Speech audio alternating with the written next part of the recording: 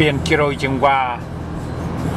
Yes, this is biển Kiroi Chingwa, United States. Cambodia has been like that one. And just here, Matt, so you can park and jump down and stuff.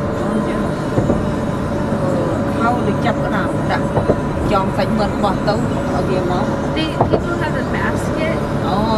Yeah. Yeah, and then in the morning they pick it up and they go sell it, and the ones that they don't sell, they put back in the basket and they put it in the water to let it live.